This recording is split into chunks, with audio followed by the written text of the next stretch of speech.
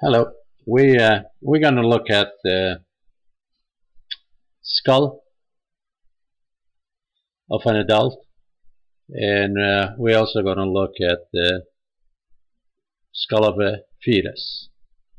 And uh, one of the things we're going to do in this video is we're going to compare the sutures. So on the fetal skull, we uh, we can see what is commonly called uh, the soft spots or also known as fontanelles. Uh, the fontanelles basically represents fibrous connective tissue and uh, after birth the fibrous connective tissue gradually is replaced by a bone tissue and that's one of the methods in our body where we uh, form bone tissue from fibrous tissue.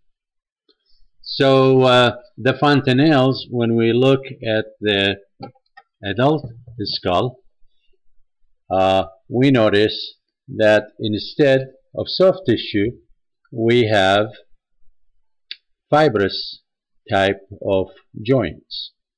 And uh, uh on the on the skull in here we're going to identify uh, four of these sutures. And uh, so first we're going to identify the bones. Uh, this represents the frontal bone. And the green green bones in here represents the two parietal bones.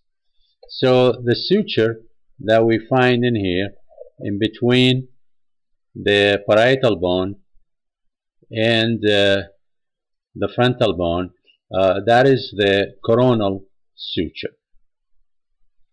Then we find another suture which is between the two parietal bones, that is the sagittal suture. If we uh, turn the skull around and we look at the dorsal side of the skull, the blue bone here is the occipital bone. So we have a suture in here in between the occipital bone and between the parietal bones. Uh, that suture is called lambdoid suture.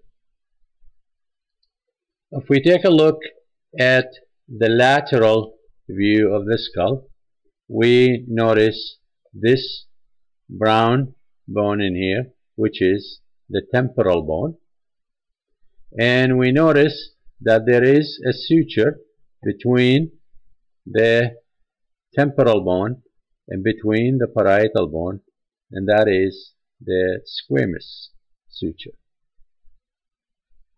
So those are four of the major sutures that you can identify on the skull.